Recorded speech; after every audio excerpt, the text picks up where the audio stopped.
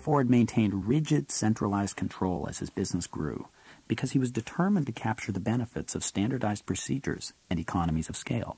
His control system was based on detailed measures of every element of his operation.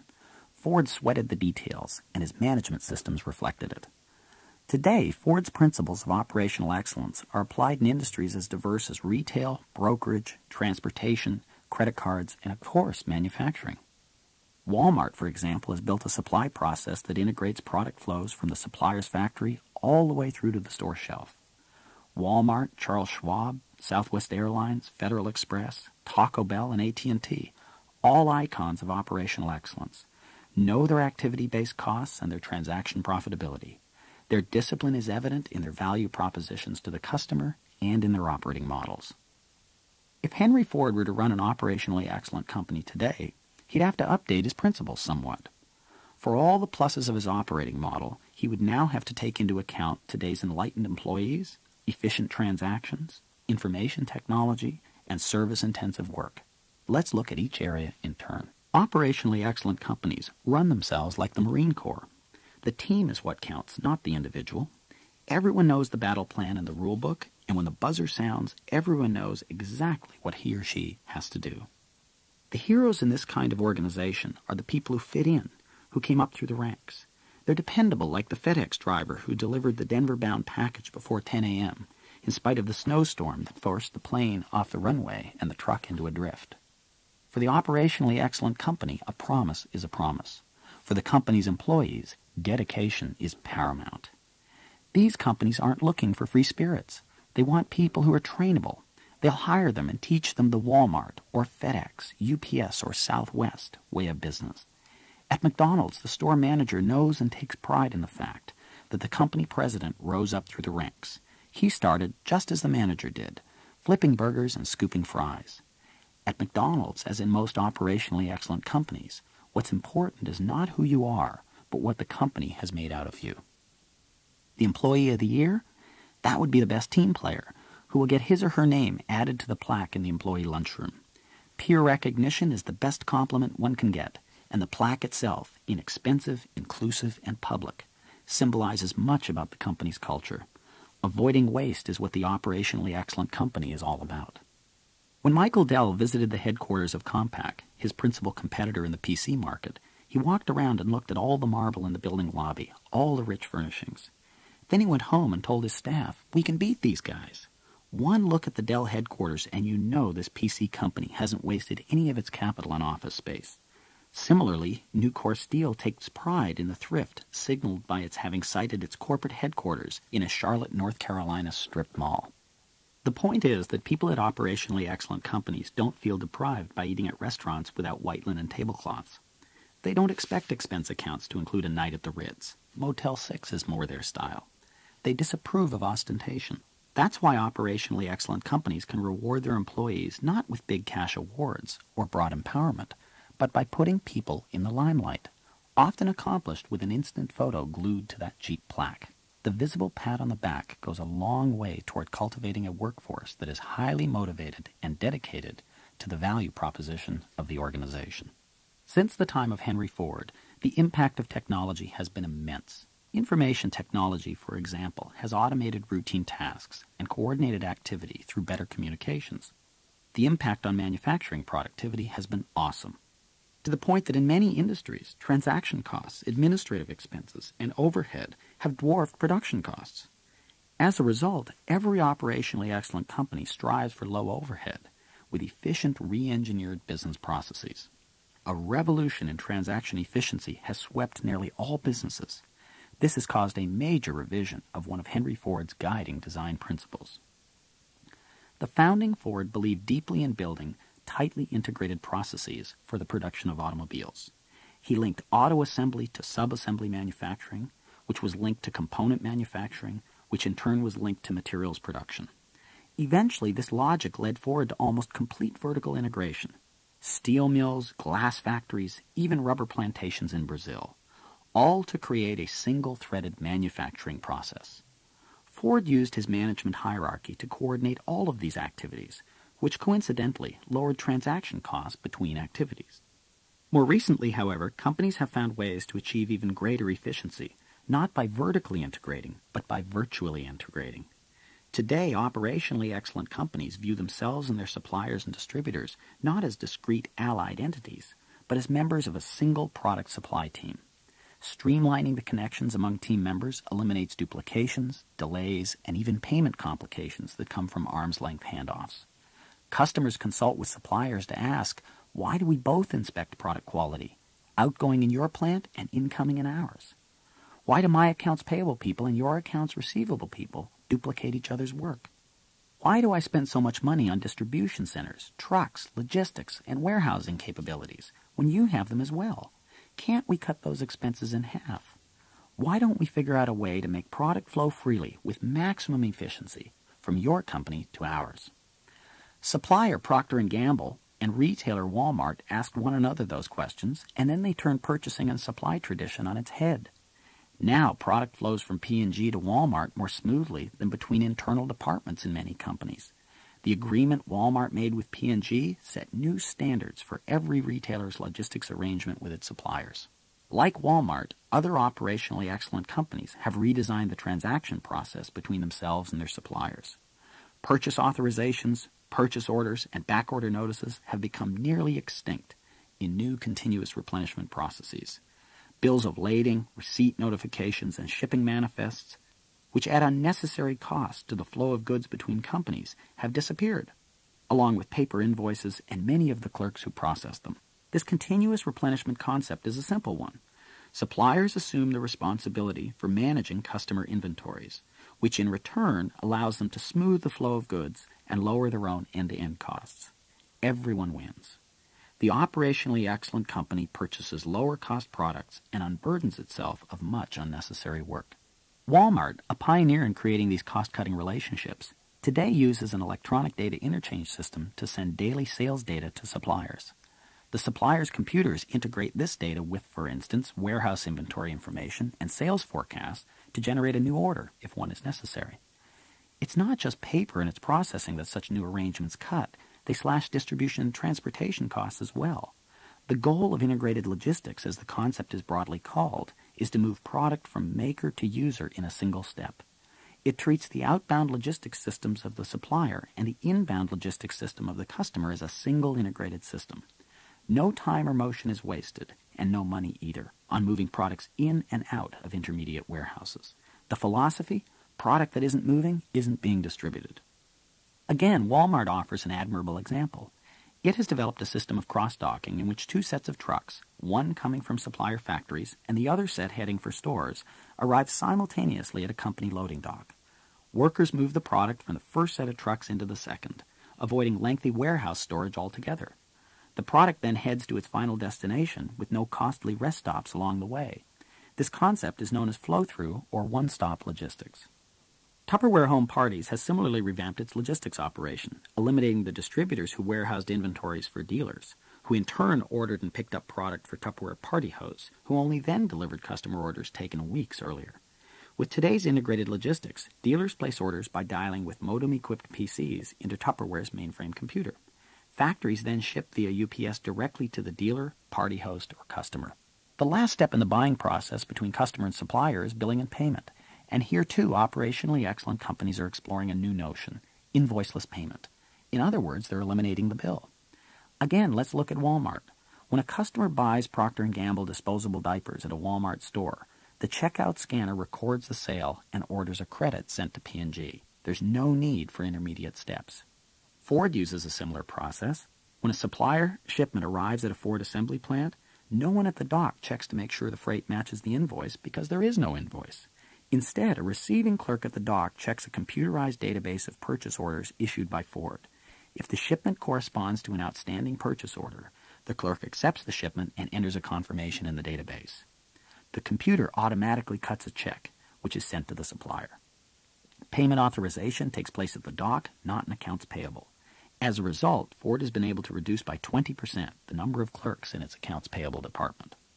As remarkable as these achievements might seem if viewed from, say, five years back, today's leading edge practitioners of operational excellence have moved way beyond just reducing transaction costs. Imagine, for instance, that you're in the cereal business and you get a call like this one from a major nationwide retailer. About this cereal of yours, the caller says, we've got some questions for you. We've examined the box and done a cost analysis of the contents. It looks to us like we're paying $3 for about 20 to 30 cents worth of product. Packaging might add another dime, which makes a total of 40 cents. We're wondering where the $2.60 difference is going. We don't understand. So we'd like to sit down with you to see if we can figure out how to kill the monster in your operation that's swallowing so much cash. That kind of discussion is going on throughout the business world. Operationally excellent customers are invading their suppliers' domains. McDonald's, Ford, and Walmart, among others, are bent on achieving efficiency through the entire product supply process, even when it means stepping into someone else's fiefdom. If you do business with one of these companies, you'll achieve operational excellence in your own corporation with their help, or you won't get their business. What makes operational excellence necessary is the new competition. What makes it possible are the new computer information systems and networks, which play a vital enabling role in the creation of operationally excellent processes. Companies exploit today's low-cost, high-performance technology to increase coordination and control over their entire system and to speed and streamline individual tasks. Information systems have become not only the nervous system, but also the backbone of their operations. Because technology is so important in operationally excellent companies, one usually has to look inside the company's computer systems to understand their core business processes. The systems and related databases and applications are so highly automated that they don't just track the process, they contain and perform it. For example, at FedEx, anyone who deals with the movement of a package, driver, sorter, customer service agent, uses the same package record to coordinate the work. At Hertz, the service agent at the airport counter, the technician readying a car for rental, and the agent who checks the car back into the parking lot all enter and extract data from the same system. The power of information technology is especially evident in industries like securities brokerage. Charles Schwab has brought to that business an entirely different operating model, built on a sophisticated base of information systems. As a result, Schwab's cost structure is so much lower than Merrill Lynch's or Smith Barney's that it can make high margins while charging less than half the price for stock transactions. Further, because its systems communicate buy and sell orders directly to the floor of the stock exchange, they can execute trades and confirm prices while the customer is still on the phone. Traditional brokers are probably still writing your orders down on slips of paper. They'll have to get back to you. It's not that Merrill Lynch and Smith Barney don't want systems like Charles Schwab's. Goodness knows they spent enough money trying to build them. It's just that these companies don't adapt well to the organizational demands that information technology makes. Without organizational discipline, or centralized, regimented, and standardized structure, a state-of-the-art computer system won't give a company comparable success. The information contained in integrated computer systems is useful not just in the core operating processes. Operationally excellent companies are passionate about measuring and monitoring to ensure rigorous quality and cost control. They generate detailed data with which to make management decisions. Operationally excellent companies have aggressively pursued mobile technologies to extend their control and to improve customer service. The handheld computers used by Hertz, FedEx, and UPS employees are examples. Companies like LL Bean and Land's End have driven teleservices technology to new levels of sophistication. What these companies find at the leading edge of technology is better operational efficiency and control. Today's operationally excellent companies have revolutionized their business in another dimension that Henry Ford never imagined customer service. Poor service can add substantially to a customer's total cost through wasted time and frequent errors. Operationally excellent companies return this lost time to customers. Most companies that buy from other companies maintain large accounts payable staffs not because they can't redesign the process to automate payables, but in essence to insure themselves against the inaccuracy of their suppliers' invoices. Consumers too maintain the habit of always spending some portion of their busy lives correcting others' mistakes. The rule for operationally excellent companies is if you truly want to have the lowest total cost, make sure your service is effortless, flawless, and instantaneous. To do this, operationally excellent companies have redesigned the customer service cycle, aggressively streamlining the selecting, ordering, receiving, paying for, and maintaining of a product. Just think of how much easier the car rental process is today than even a few years ago. Hertz number one Club Gold members record their car rental preferences only once. When they place an order, either through Hertz or with a travel agent, all the information Hertz needs is already entered. Club members encounter no lines or delays at the airport. They get right on the bus and are dropped at their cars. Hertz automatically bills their accounts at the end of the rental. No fuss, no hassle. That's the standard of basic service in an operationally excellent company. One of the main keys to achieving operational excellence in customer service is the same as in manufacturing. Do it one and only one way. Here again, variety kills efficiency. Another key is getting customers to adapt to the operationally excellent company's way of doing business. McDonald's provides a classic example. Your mother couldn't get you to clear your dishes, but McDonald's did. When underneath the golden arches, you expect to follow some implicit rules. Bus your own table, stand in line to give your order, know what you want when you get to the front of the line. Don't ask cashiers to hold the pickle, take it off yourself. McDonald's has built a whole system of social norms that patrons readily enforce among themselves. Of course, customers comply only because they get low prices and efficiency in return. Likewise, Southwest Airlines makes a point of not providing food, advanced check-in, and baggage handling. It explains that such frills preclude low prices and impede reliable service. Customers have bought the message and adapted their behavior accordingly. Going on a trip? Pack lights says Southwest, because you'll be carrying it. Hungry? Grab a bite before the flight. Just arrived? Step into line for a boarding pass. Why are operationally excellent companies uniquely qualified to deliver superior basic service? Because they enjoy three advantages. The first is focus, making hassle-free basic service a key part of their unmatched value proposition. Second, their operating models support efficient zero-defect service. The practices of operationally excellent companies are part of the rule book for zero defect service. Third, they have effectively exploited information technology to redesign their basic service tasks. Information technology has made service available anywhere at any time. It is the catalyst of the service revolution. As operationally excellent companies create an unmatched value proposition of best total cost, the question comes up, what's in it for them? There is only one answer, growth. Other market leaders might raise prices to exploit their product advantage, but such a tactic runs counter to the operational excellence strategy. Walmart could raise its prices a measly 1% tomorrow in an effort to add $800 million to the bottom line. But it won't. If it raised prices to exploit its current advantage, it would merely be stealing from its future success. Higher prices means less value leadership. Less leadership means lower growth and ultimately shrinking margins. Operationally excellent companies obtain their growth in three coordinated ways. They work to assure a constant, steady volume of business so as to keep their assets continually working. They find new ways to use their existing assets, and they replicate their formula in other markets. Let's take these growth generators one by one. Having invested heavily in stores, plants, airplanes, or other fixed assets, Operationally excellent companies know that using those assets as many hours as possible every day boosts both revenues and financial returns. They also know they must smooth out demand fluctuations as much as possible to avoid inefficiencies that come from a boom and bust cycle of volume. Consequently, they strive for large, consistent volume throughout the day, the week, and the year. Demand peaks and valleys become operational problems to be managed because nothing undermines efficiency and hurts low unit costs faster than slack in a system. Machines sputter to a stop, workers cool their heels. In short, fixed costs keep adding up while no product flows to pay for them.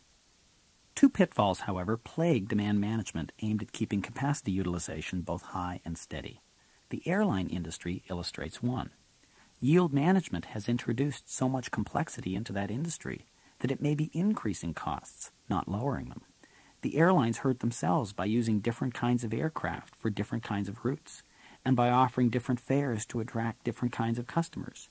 Remember, variety, even variety in price, destroys efficiency. The second pitfall is that using price and promotions to shift demand can teach customers to withhold buying pending a special deal. When that happens, demand actually becomes lumpier.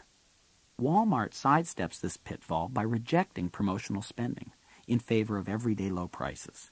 Promos, ads, and sales are the brain children of product marketing people who don't understand the monkey wrench they can throw into retail operations. No wonder companies like Kellogg, General Mills, and General Foods rank far down the list of operational excellence. Their behavior saps efficiency. A second way that operationally excellent companies fuel growth is by finding different markets to penetrate with their existing assets.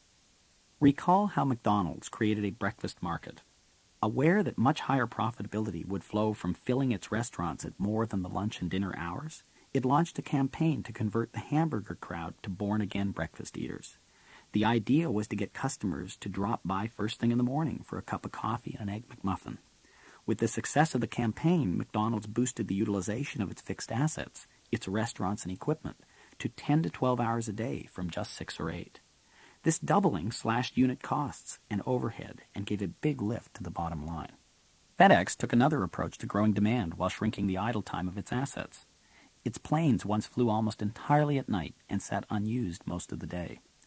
FedEx contacted LL Bean, which at the time was shipping its clothing and camping gear by any available carrier. FedEx offered to take over all of LL Bean's shipping. Urgent deliveries would still take to the air on the night schedule, but the rest would fly by day, using the idle planes. This arrangement, FedEx argued to Bean, would both take up its own slack and give the retailer faster service. Bean agreed, and a partnership was born.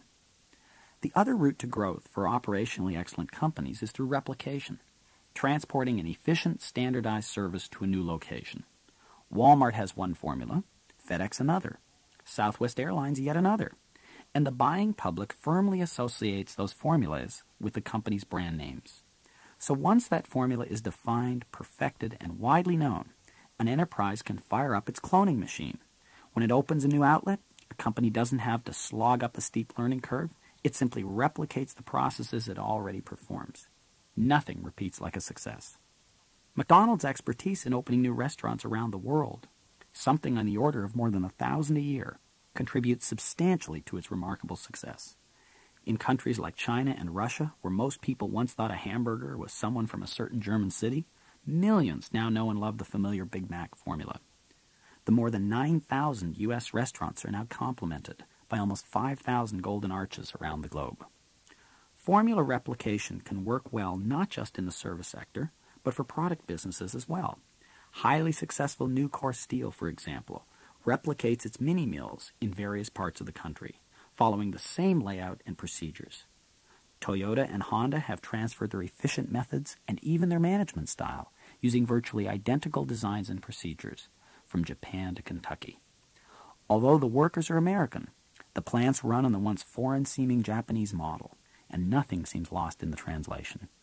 What, then, distinguishes operational excellence from operational competence? Hard choices. Less product variety, having the courage to not please every customer, forging the whole company, not just manufacturing and distribution, into a single focused instrument. The operationally competent company will shy away from these tough calls and pay the price. A canny weave of unparalleled know how technology application, and tight management. That's what makes a leader in operational excellence. The secret of succeeding with this value discipline is summed up in a single word formula. Formula often has a negative connotation, but for operationally excellent companies, it's the foundation for an aggressive and highly successful enterprise. Chapter 5 One Company's Experience AT&T's Universal Card so intent on efficiency was Paul Kahn, the first president of AT&T Universal Card Services, that by the day his operation began in March 1990, AT&T computers had already screened most of the US population for creditworthiness. That meant that AT&T phone reps could instantly approve cards for any caller who could be matched in the database. We didn't need any other information, he says. On that first day, AT&T reps, based in Jacksonville, Florida, rode out a tsunami of calls and the database matched the vast majority of them. Says Kahn, the card was issued the next day. It was out of the door and in their hands in a week. Competitors often took a month or longer to issue a card. With such operational excellence, Kahn would permanently change the rules of competition in the credit card business. His idea, simple to describe but hard to execute, was to run a lower cost operation that would deliver gilt edged service unheard of in the credit card industry. The story of Universal Card, which we'll illustrate with the help of a roundtable of comments from Kahn and several current employees, shows in detail the power of the operational excellence value discipline. By building a new business on the discipline, Universal Card leaped in a matter of months to market leadership. So efficient was its new operating model that it prompted fierce competition in the industry. The competition in turn squeezed profits and spurred consolidation. The top 10 card issuers in 1986 had a 33% market share by card volume. By 1993, they had increased their share to 40%. What prompted AT&T to think it could rush in and establish a winning business? Partly the juicy profit margins. Retail banks then ran most credit card operations, and historically, credit cards had been the bank's most profitable product, returning up to 5% on assets as compared to the 1% typically earned by a well-run loan portfolio. Kahn was bent on taking a big bite out of those profits. Also drawing AT&T into the fray were changes in technology new non-bank competitors could install inexpensive off-the-shelf computer programs. In essence, they could operate like the Walmarts of the credit card industry, undercutting traditional providers with a radically lower cost structure. AT&T also bet it could build business by leveraging brand awareness, which hardly existed in the credit card industry. Half of credit card customers didn't know that their cards were issued by one of 6,000 organizations. To them, it was just a MasterCard or Visa. AT&T had a venerable name to offer. Perhaps most important, AT&T could see that customers weren't satisfied with the cards they had. Card users didn't like the high annual fees, and with one or two exceptions, they didn't like the mediocre service they received. Many people were downright angry about surly phone representatives who took weeks to process a simple change of address, or stolen card bureaus that couldn't issue new cards without embroiling customers in a tangle of paperwork and phone calls. AT&T figured it could deliver much better service. The world was changing in 1989 in a way that would hurt traditional issuers with or without the coming of new competitors. Their customer base was finite and their product was mature. All of a sudden, card issuers couldn't command high fees while delivering lousy service. Their customers were ripe for a better offer, and AT&T made it. AT&T bet right. The AT&T Universal Card Services operation was profitable in 27 months, way ahead of schedule. Today, it's the second largest banking card in the industry. Over 20 million domestic cardholders, representing receivables of over $11.1 billion, use it as a combination long-distance calling card and general-purpose credit card. They get the same benefits they would with other premium credit cards, but with no annual fee, low interest charges, and a discount on long distance telephone calls. Recounting the UCS story, which began just over four years ago with a concept team of 35 people, is Paul Kahn, its first president, who has since become president and CEO of Safeguard Services.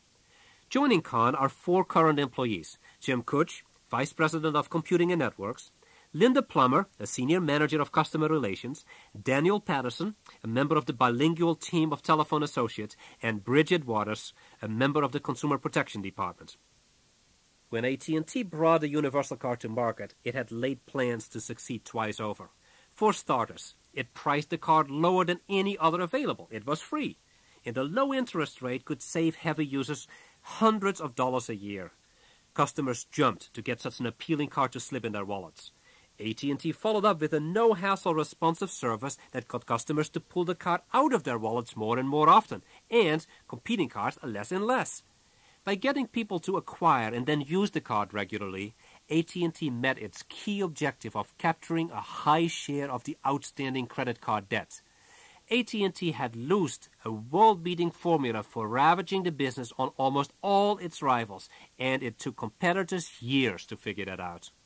Here's Paul Kahn's perspective.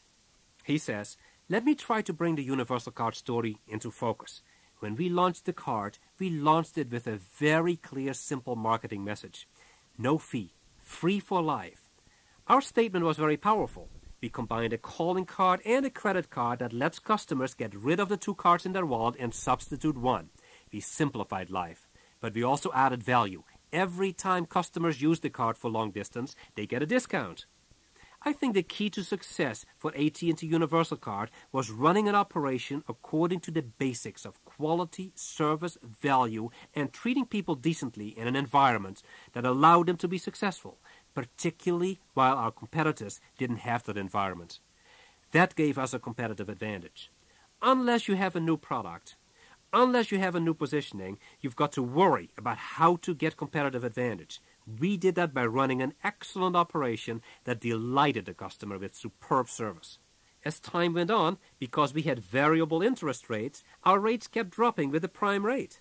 Our rate dropped five times over two and a half years, while our competitors' fixed rates stayed the same. Every time the prime dropped, we would tell customers. We would tell prospective customers to transfer the balance from our competitors to us to save money. We kept hammering home a simple message value, quality, service in a company you could trust. We provided excellent service by designing everything that was touched by a customer to be better. That meant gearing our people to handle customer problems by phone, not to ask customers to fill out lengthy forms.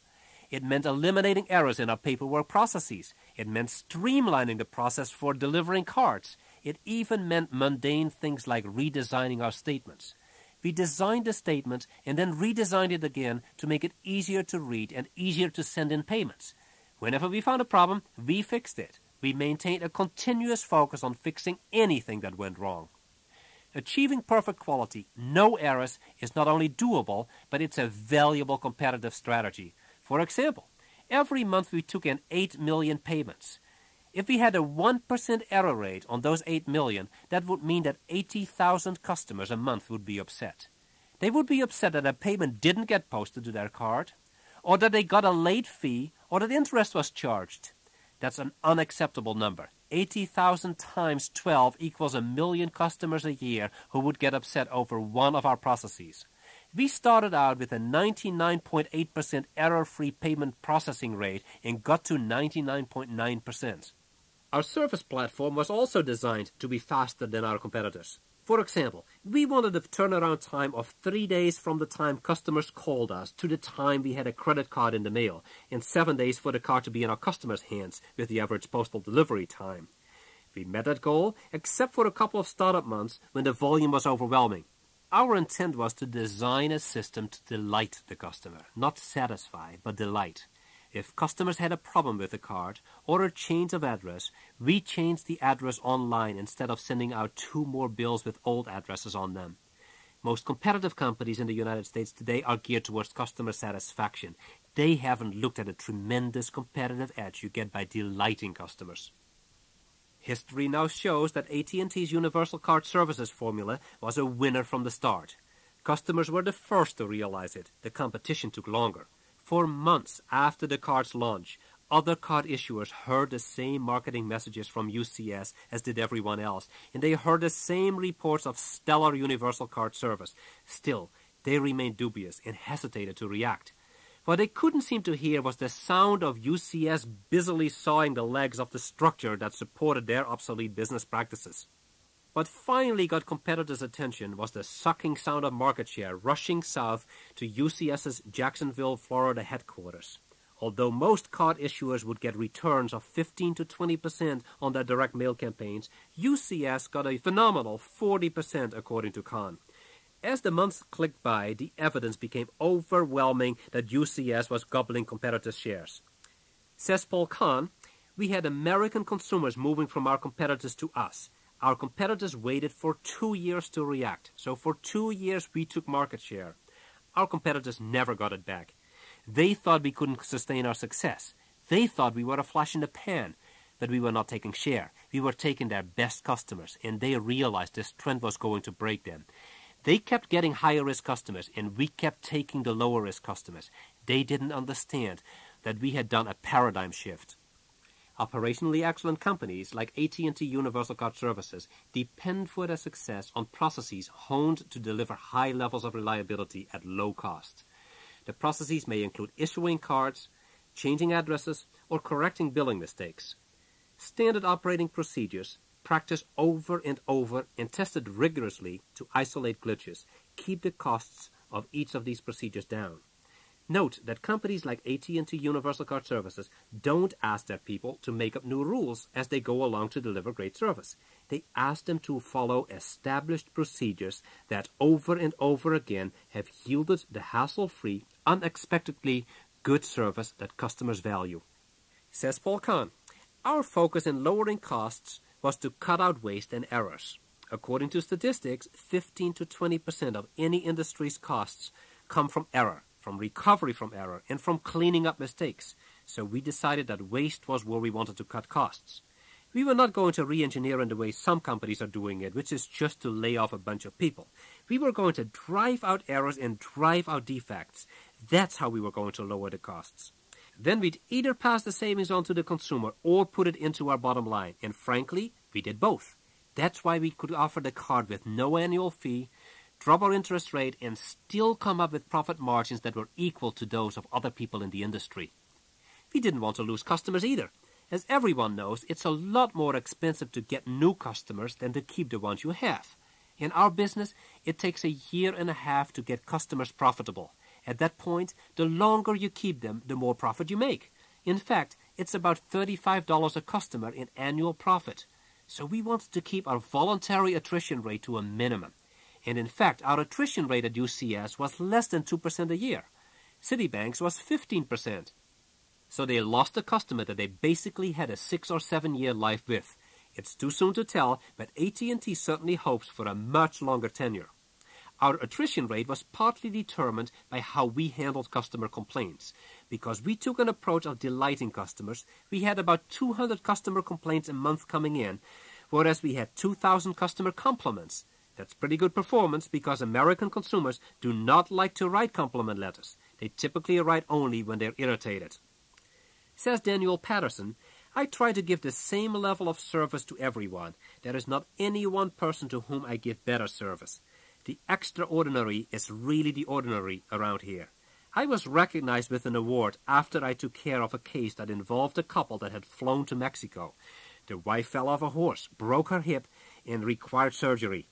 The doctors in Mexico would not accept a credit card, nor does medical insurance here transfer over into Mexico so the couple was in a bind. With the help of a co-worker, we were able to reach the doctors and tell them we would deliver cash on the spot if necessary. After we faxed some information, they accepted the card. Following the surgery, everything was fine. We helped the couple get reservations for their return home. That was a great feeling. The heroic is part of everyday work. Says Kahn, let me give you another example. One Saturday in September, back to school time, we had a computer failure. The failure was at one of our vendors. As a result, about 40,000 of our customers were turned down when they went to use their credit card to make a purchase. Now, that's not a very nice experience, particularly if you're in a restaurant trying to impress some friends and the proprietor says, Sorry, this card is no good. What was worse was that some overzealous merchants, about 200 of them, actually took the card away from the customer and said, I'm sorry, we have to take this card away from you. Merchants get a $50 reward if they retrieve a fraudulent card, and a few decided they had an opportunity to make some money. So here we have a lot of dissatisfied customers.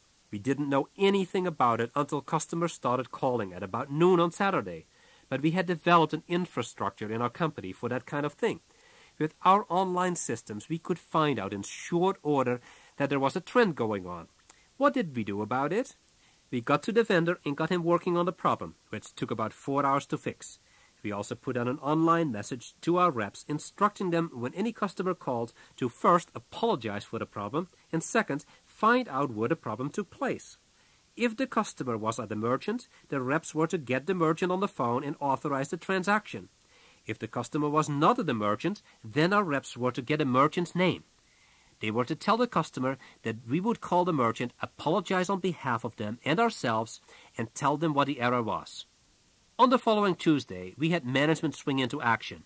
I sent out letters with my signature to 40,000 people.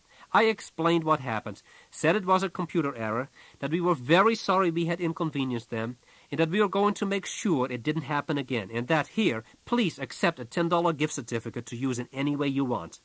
The next month we got more compliments than we had ever received before. People were not used to being treated that way. But we had positioned ourselves differently, and the way we reacted showed that we meant what we said. It really solidified our relationship with our customers. Companies that derive their success from operational excellence live or die by process improvement, governed generally by the principles of total quality management. AT&T Universal Card Services is no different. It constantly polishes its standard operating procedures to cut costs for itself and cut hassle for its customers says Paul Kahn. we developed a process called continuous improvement. In fact, it became a core value of our company. Whatever we're doing today, we can do better tomorrow. Inside the company, that approach diffused negative emotional reactions. Typically, you criticize somebody for making a mistake. Instead, we took the position of saying, You've done something wrong in the spirit of continuous improvement. How can we do this better the next time? We always try to be forward thinking, asking, How can we get better? We made a quality improvement process a little bit of fun. We actually stole an idea from the FBI and we created a 10 most wanted list of quality defects. Every department at UCS had a 10 most wanted list that it put up on a wall. Teams were assigned to work on each item on the list, and when they corrected one of those defects, we would have town meetings with every employee, and we would bring the teams up and applaud them and give all of them ceremonial plaques. At any given time, we had about 125 major quality improvement projects going on, all of which had teams assigned to them. When one improvement project was retired, the next one went up on the list. It was a continuous process. If you ever get complacent and think that you've achieved high quality, then you're really out at the end of your quality journey. One of the things I did was create an environment that forced everyone in the company to be closer in touch with our customers. Every manager in the company is required to listen in on customer service calls two hours per month. None of us were competent at handling them, but we had to at least listen and understand what people wanted. In June 1990, three months after we launched, we thought we were pretty hot, I have to tell you. We had just worked out our telephone problems, and we were pumping out cards like crazy. But we benchmarked ourselves against the Baldrige template, and we found that we scored only 150 points on a 1,000 point Baldrige total. It was a rather humbling experience to me. When we won the Baldrige Award in 1992, we scored somewhere between 700 and 750 points, which is where you win the Baldrige. So in three years, we had moved up significantly. Enabling AT&T Universal Card Services success is information technology. No surprise. Real-time, hassle-free service in today's world comes only through the speed and integration of computers and databases. Not only is AT&T Universal Card Services highly automated, however, Computer systems essentially define people's work. They proceduralize it.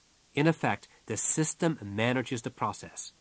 According to Paul Kahn, we used technology very much as a competitive weapon. What we wanted was a high-tech, high-touch environment.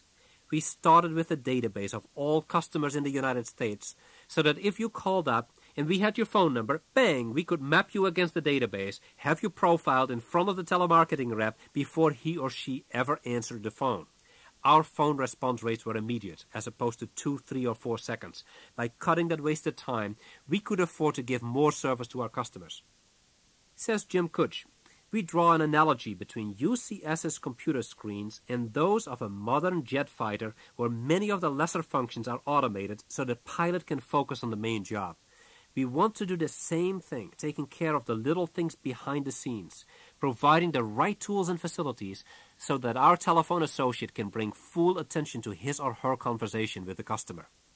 Says Kahn, every transaction we looked at, every time we touched the customer, we tried to figure out how we could do it better and faster. For example, we used expert systems so that ordinary people with no credit experience could grant credit line increases. We made it simpler, UCS is now on its fourth iteration of this workstation system. So that gives you an obsolescence life of hardware and software of about one year to give you an idea of how we try to keep a competitive edge. Says Kutch, what we have evolved is the UWin workstation, our customer service delivery platform, our PBXs, local phone networks, our call management system, our 800 services, our network, all of these have also been advantageous. We think our database analysis is particularly powerful. We have collected data since the launch of our product and have details of every transaction. This gives us a tremendous asset for reviewing and improving our operations. The other tremendous asset at AT&T Universal Card Services is a motivated workforce. The company has managed to accomplish what few other companies seem capable of. It has created a high-spirited attitude in people performing routinized work. Its approach has been to hire eager people with a lot of potential train them to view excellent service as routine, and assemble them in teams to solve problems that lead to continuous improvement. The efficiency of UCS, like other operationally excellent companies, also stems from a high degree of role specialization combined with broad integration. Consequently, associates, such as those on bilingual telephone teams, can handle or find someone nearby to handle most problems. UCS's formula for managing people builds a degree of organizational strength that most competitors find unassailable. Training helps people perform. Performance boosts self worth. A sense of worth builds employees' loyalty to the team and the customer. The benefits of this self-reinforcing approach to management shows up in happy customers and a robust set of profit figures.